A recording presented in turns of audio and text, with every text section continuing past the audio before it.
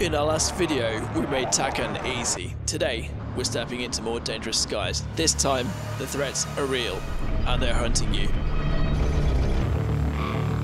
Gone are the days of panic spamming chaff and flares. By the end of this video, you'll have a clear understanding of how to defend yourself, dramatically increasing your chances of staying airborne and out of harm's way.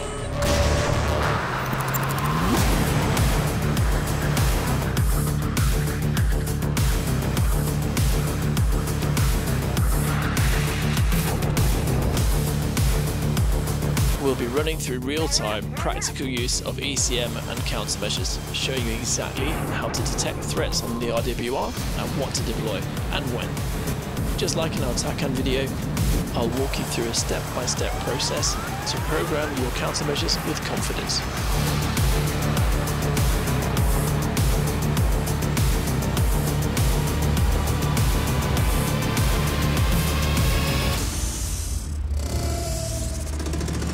Before we get into defense, make sure your jet is fully set up. If you haven't already, check out the F-18 startup tutorial here on the channel to get everything running smoothly. Once you're powered up, switch the countermeasure dispenser to on and arm your ECM by setting the switch to standby, then to XMIT when you're ready to activate the jammer. Now let's dive into programming your countermeasures to handle both radar and infrared guided missile threats. Ready? Here we go.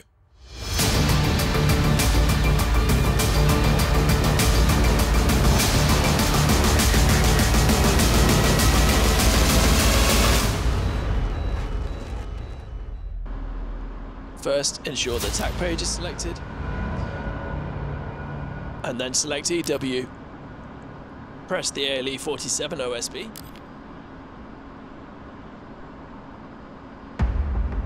And select ARM. Here we've got Program 1, ideal for long-range engagements where the threat level is lower. Think of it as your first line of defense. Select Flare and press the increment level up to add to two flares, or however many you want. Press the repetition button, and you'll notice it was on 10, so we'll bring the repetition down to something like 3. Press the interval OSB. Now we'll reduce the time interval down to 3 quarters of a second. Don't forget to press save.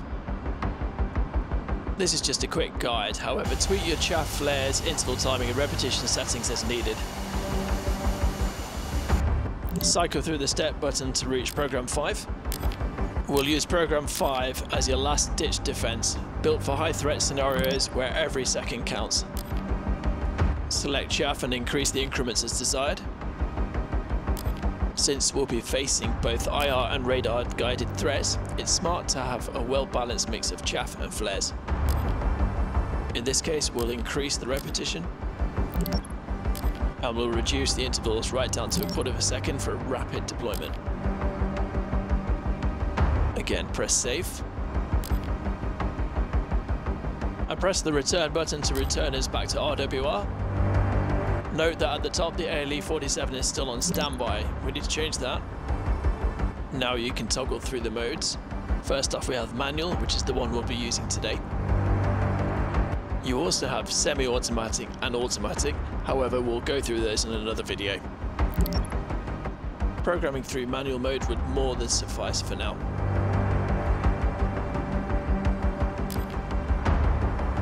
We'll go through the controls shortly, but just remember that program 1 is activated through dispense switch aft, and program 5 will be operated by dispense switch forward.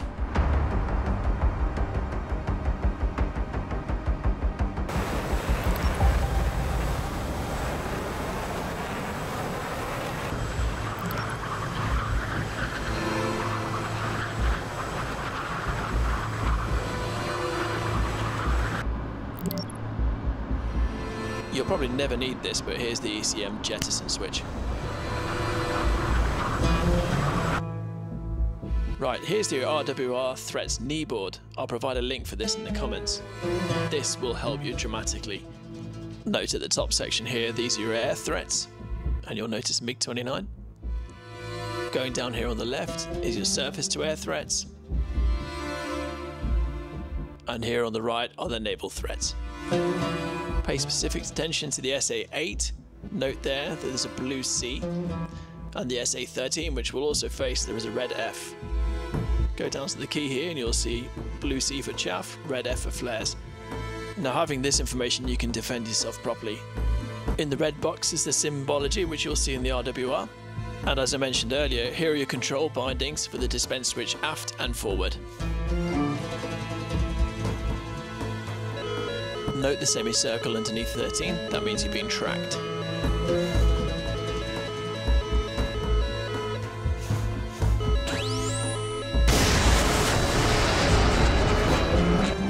At this point, keep your calm, turn away from the threat and deploy your countermeasures. Now you'll see on the right where the missile gets fooled by the flares.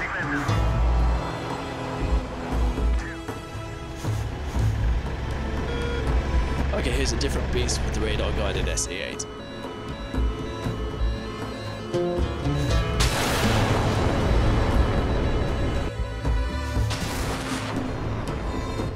That flashing line means the threat is critical.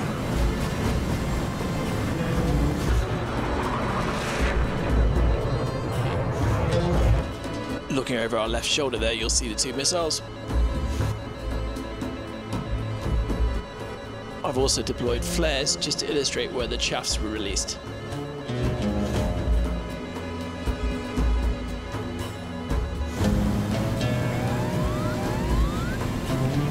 I think it's time to give them a taste of their own medicine.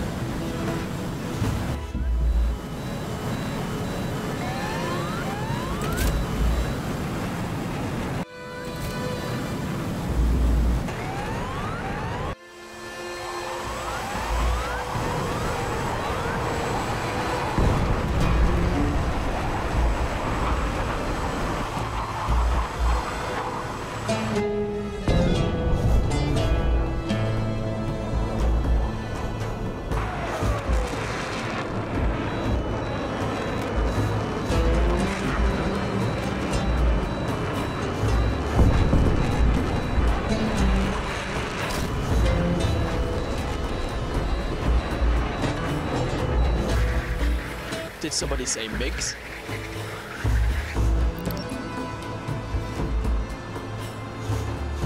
As I'm now being tracked, the MiG-29 has moved to the lethal band.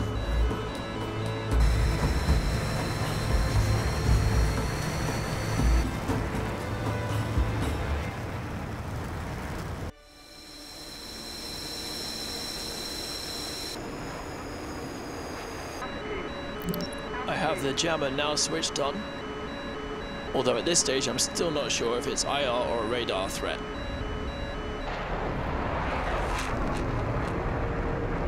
Usually if it's long distance it's most likely radar anyway.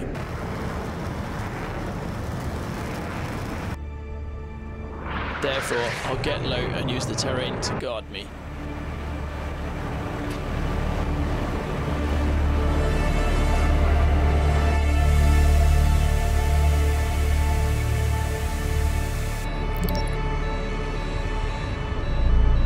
Jammer's on, but it doesn't mean I'm safe.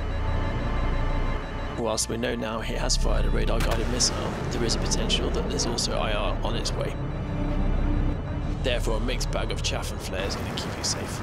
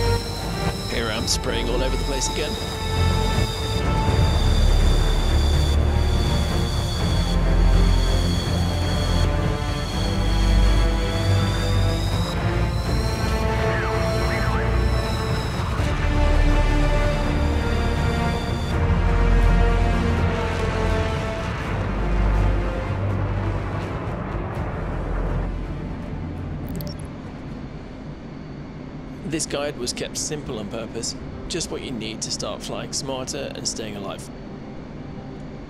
One quick tip to remember, the ECM jammer works best at range. Once you're close, it won't break locks. So always combine it with smart countermeasures and manoeuvring.